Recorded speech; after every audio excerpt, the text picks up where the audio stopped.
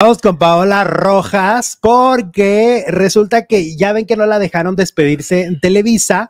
Eh, ella salió de Netas Divinas, quería despedirse del programa de televisión, no la dejaron.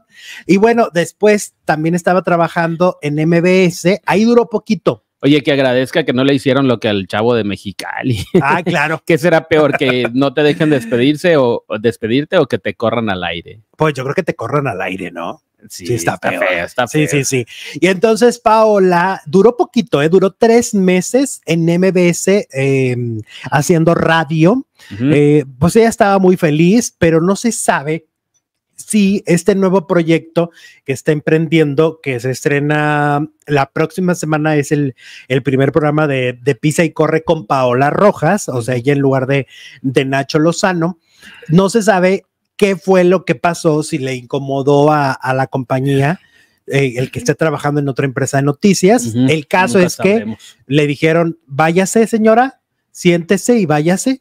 Y este, Y ni siquiera te puedes despedir. no, es súper importante la despedida. Yo creo que más importante que la llegada, porque está hablando del trabajo que hiciste. Pues sí. Está hablando de si lo hiciste bien o si, o ¿qué hiciste? ¿Por qué te corrieron? Nos queda la duda, ¿no? Y pues ni siquiera te dejaron despedirte.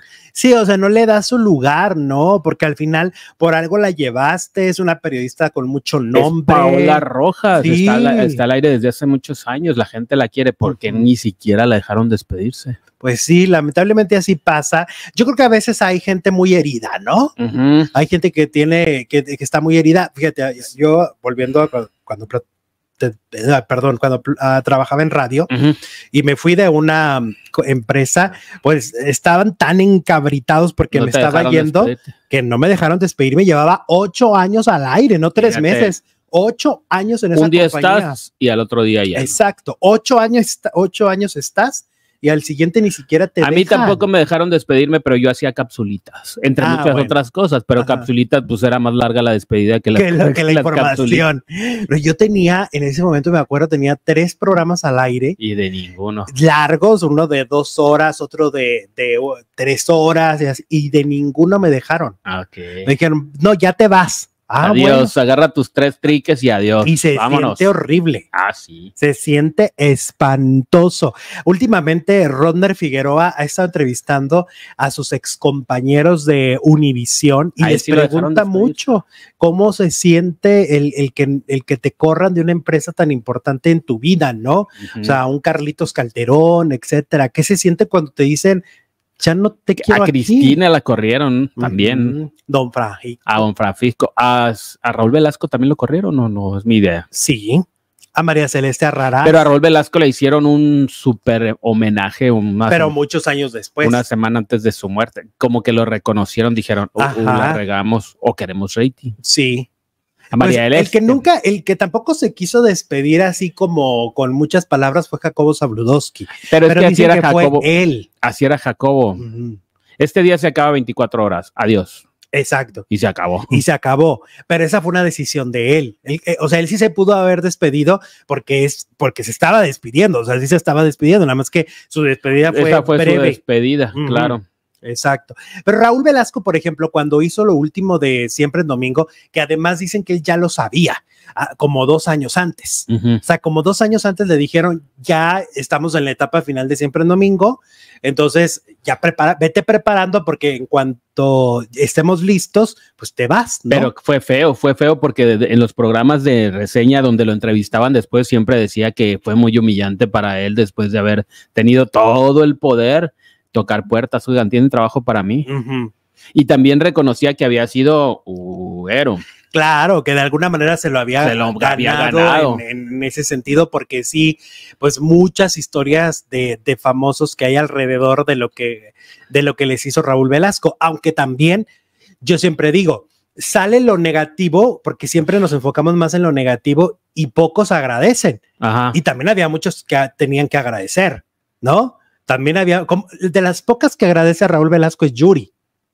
Yuri siempre dice. Talía también estuvo ahí en el. De las que agradecen, y, y recordemos cuando son, cuando es su último programa, no el homenaje, cuando es su último programa de siempre en domingo, la lista de famosos que fueron ya era mínima comparada con todas las figuras que aprovecharon el poder y la plataforma de Raúl. Exacto. Porque también hubo mucha gente que le debía su carrera. El Ajá. otro día veía a Mimi de Flans y decía, a los, e hicieron tres siempre en domingo seguidos. Después de esos tres siempre en domingo ya no podían salir a la calle. O sea, la Ujú, fama sí, que daba sí. siempre en domingo era Eh, por eso impresionante. era, eh, pues era un antes y un después de entrar en, estar en Siempre en tu Amigo. Ujú. Mario Palomar, hola Mario, nos manda un super chat, dice, hola Alex Producer, ¿por qué nunca hablan de fe y me da la impresión de que te cae mal, Alex? Ahora, No, yo te voy a decir una cosa, Mario, no nos cae para nada mal. De hecho, hace como seis meses íbamos a ir a, a verla, a Phoenix, a, a- verla, pero no nos gustó el lugar porque no había asientos, no sé qué. y aquí, aquí también vino Ajá. y yo pensé ir a verla, por algo no pude, Ajá, pero de que me cae mal para nada. somos Lo que fans. pasa es que no da, Pues no da nota, no, No, en realidad no. ajá. O sea, no es alguien que esté dando información y no. Ajá, no, no, no, para nada. Iba a estar en el auditorio en Eh, noviembre. noviembre. en noviembre. Y, y es que mes. ella fue la reina del auditorio en, Sí. en su momento, fue la primera artista mujer que logró llenar 11 auditorios consecutivamente. Sí, porque Sí. a lo mejor ahora los hacen espaciados, pero ella fueron 11 seguidos. Imagínate nada más, El o sea, fenómeno que fue. Es lo que ella fue un fenómeno que- social. Sí, lo importante que fue. O sea, Faye, yo la comparo con lo que se vivió con Flans, ajá. ¿no? De que la gente se vestía como ellas, ¿no? Sí, sí, sí. Este, y que sus canciones todo el país las cantaba. Comprabas naranjas y las partías nomás. No, por era la, la, la este chamarrita este, amarrada a la cintura, paliacates en las muñecas, ajá, pulseras, ¿no? estar chaparrito. Ah, No, pero para nada, simplemente que pues aquí damos, No, la- no, es- no. aquí son breaking news y realmente Faye hace mucho A ver tiempo que a ver qué pasa en el no auditorio. da ¿no? una Ahí breaking hacemos news. la reseña. Claro. Eso. Eh, Ale, Gracias, Mario. Bueno, ahora hablemos de